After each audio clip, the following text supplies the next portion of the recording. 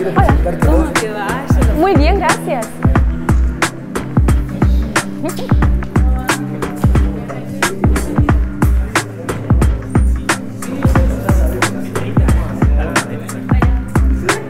Necesito que le cuentes a Elsie, que es amiga mía de Rusia y Rafa. Hola, buenas marido, noches. Son de Rusia, de Kazán. Y le quise contar un poco de la historia, pero no me, no me pertenece a ¿Teatro? contarles. Sí. Bueno, algo, algo lo vamos a apuntar. lo vamos a llevar al, al picadero. Sería genial si tienen tiempo. Sí, sí, sí, sí, tenemos tiempo. Genial. Estamos ahora en el teatro muy antiguo. Podestá. Sí, Coliseo Podestá. Sí. Estamos en, cerca de Buenos Aires, en eh, La, Plata, con en uno de Facundo los Arana. teatros más lindos de toda la Argentina. Sí. Argentina tiene muy lindos teatros y es un país muy grande, pero en todos lados hay un teatro precioso para visitar. Este es uno de los más lindos que hay. Sí. Facundo Arana va a protagonizar hoy una función muy linda Sí. y vamos a ver, esto también voy a grabar Sí. todo para lo que ven. Vamos a trabajar con Soledad Silveira, que es una actriz maravillosa, es una dulzura trabajar con ella. Lo conocen también en Rusia. Sí, sí. Claro que sí. Trabajar con Soledad es como trabajar con un Stradivarius. Es preciosa, es perfecta, sí, sí. Así que Vamos a disfrutar entonces Sí, esto esta noche. Especialmente para nosotros ahora abren la bodega, ¿cómo se dice? Eh, los cimientos originales Cimientos, del sí, teatro. originales. El teatro está construido, pero además está muy bien preservado y está muy bien cuidado. Entonces, estos cimientos además es donde está la historia del teatro en Argentina. Este es parte de la historia Qué del teatro. interesante, ahora voy a mostrarles todo, todo lo que hay bajo este teatro. Tiene 133 años de teatro. Y fue fundado por, creado por el Podestá, justamente Juan José Podestá, este, que vivía acá al lado, en la casa de acá al lado. Era actor, compositor. Era actor. sí, Actor. sí. Ahí está, ahí está. Y se- lo que- primero que se creó es lo que vas a ver ahora acá. Qué emociones, qué emociones. Ahora vamos a ver todo, todo, todo santo que está aquí, bajo del teatro Coliseo Podestá. Esto empezó como un circo primero. Era un circo, pues esto la arena del, del circo. Muchos años después lo que se podía hacer era justamente elevar o bajar el, el piso para hacerlo teatro o para hacerlo circo. Tiene 133 años, pero sobre todo, más que la antigüedad en sí, que como ustedes vienen de Rusia, hablar de algo de 130 años es casi nuevo, Claro. porque Rusia tiene mucha antigüedad. Sí. Pero para nosotros, más allá de la antigüedad, que 130 años en la Argentina es mucho tiempo, lo que tiene es que acá está la historia, es uno de los lugares de- fundacionales de la historia Río del Platense. teatro rioplatense.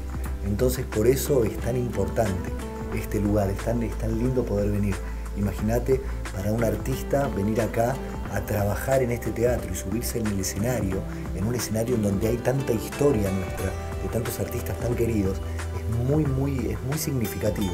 Y además vas a ver que cada vez que venís acá, la gente está vestida de punta en blanco y realmente se guarda la ceremonia de ir al teatro. Y Sí. eso es maravilloso. Lamentablemente eso no podríamos hacer hoy. Bueno, bueno, bueno, que- fíjate pero Pero, estoy, estoy puesto en los colores de la bandera argentina. ¿Está bien? Sí, sí, sí, pero realmente vas a ver, vas a ver él sí que... El español. Sí, sí, muy bien, y lo aprendió sola. Muchas gracias. Y podés ver que, ves, esto, que, que sea todo, que sea de madera, que sea de materiales nobles, que sea... Es un lugar que está muy, pero muy, muy bien cuidado. Y fíjate cómo todo está muy preservado. Sí, y eso es acá, muy bueno. Independientemente de si las cosas son municipales o de manos privadas, lo que hay es gente que ama profundamente este teatro y lo cuidan y se lo mantienen ya como ves.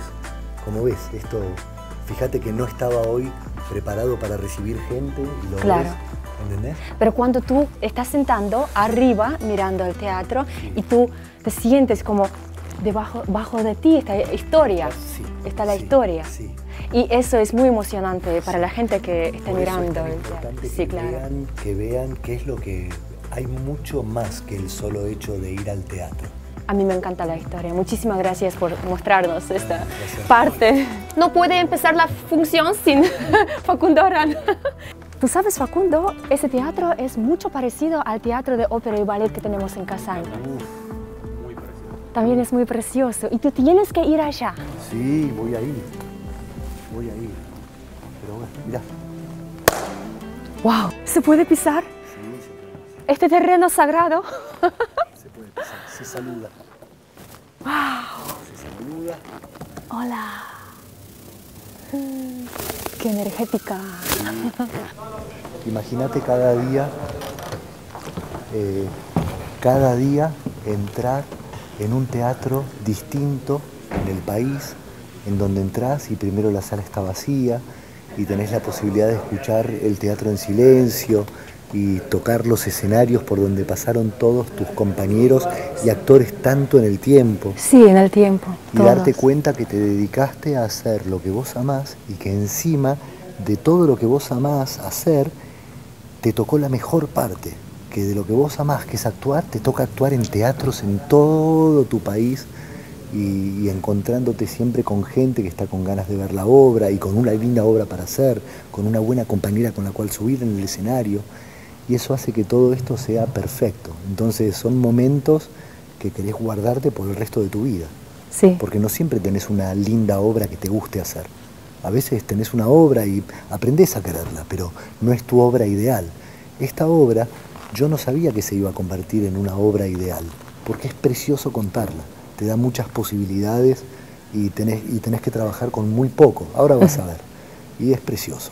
Sos una persona muy feliz, una persona muy contenta con tu vida, todo lo que pasa contigo. Tiene que ser así. felicidades. Es la única vida que tenemos, por lo menos Sí. ahora. Entonces, sí, tiene que ser así.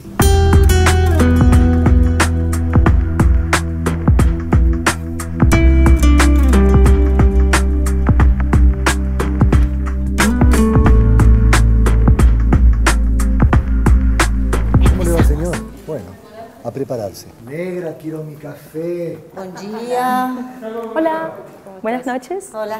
A ¿Cómo estás? mi Hola. jefa. Dolly es Mucho mi jefe, gusto. es mi productora. Ella nos lleva con las cartas de amor. Y Yani, Eiraz, Eiraz, Yani es la técnica en iluminación y sonido. Increíble, porque en Rusia eso lo hacen los hombres. Técnica de iluminación y los sonidos, sí. Así que soy el único hombre en el equipo. Lo tenemos todo controladito. Me tienen... ¿Café? No, gracias. ¿Café? Sí. Té. Café. Café. Adelante. Wow, esto, esto camarín, Este es el camarín. camarín. No en todos lados hay camarines tan lindos, pero sí en todos lados siempre está hecho todo con tanto amor y con tanta dulzura que todos los lugares se ven como así. Brasil, te invito a un café. Sí. No tengo palabras. Cada vez más sorpresas en mi vida. El trabajo antes del escenario. Sí. Lo importante, lo más importante. ¿Qué querés? Ah, no, sos una grosa. No, lo hicimos con Janina, las dos. No son las grosas. Of course. Voy. ¿Cuál querés? Este. Ahora ya es empezar a prepararse, empezar a Respirar. bajar, ponerse a tono con lo que uno va a hacer, empezar a repasar la letra, empezar a vocalizar, mm, porque si el micrófono llega a fallar, vamos nosotros a hablar más fuerte y sacarlo desde acá. Porque es teatro clásico. Sí, y eso no se hace con No, micrófono. No, Sí. sí. Ya nos pasó y lo disfrutamos mucho. Cuando ya estás arriba del escenario, si ya con la garganta caliente, con todo caliente, lo haces con mucha tranquilidad.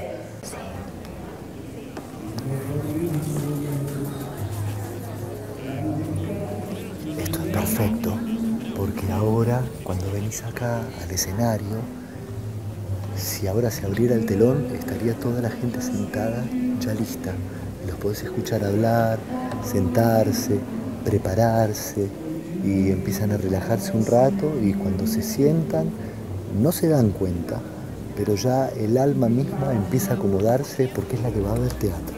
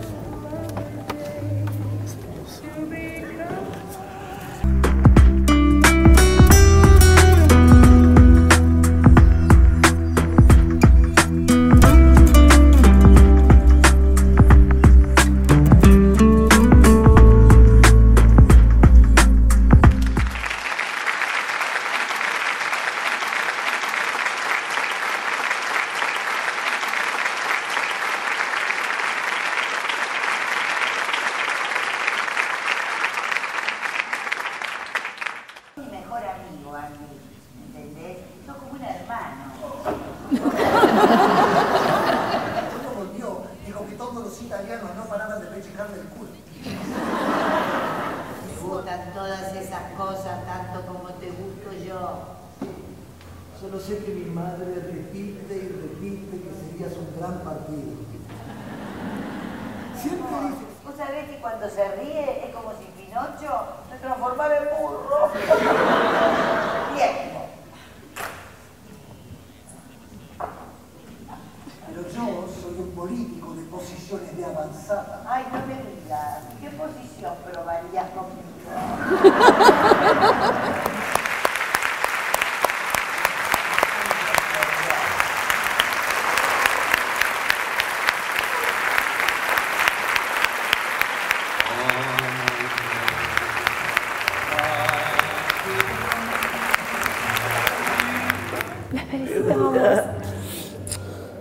Gracias, mi amor. Era un encanto. Ay, qué rico. Nos gustó mucho, disfrutamos mucho. Muchas gracias.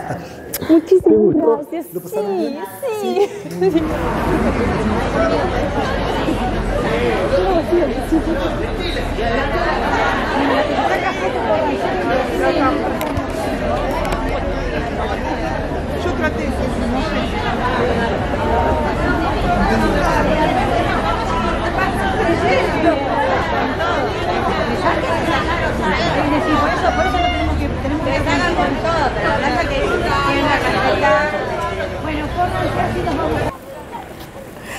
sí. Es el tatuaje, tatuaje. Es como un- mi ángel, es todo. Él sabe de esto. Sí, sí. Me dijo, estás loca, estás loca. dice. Y sí. A mi hija le dijo, no la dejen, porque yo le dije, me voy a tatuar una frase tuya de un disco y tu firma. No, dice, estás loca, no, no, no, no la dejen. Y un día voy y le digo, mira, eso sos loca, sos loca, dice.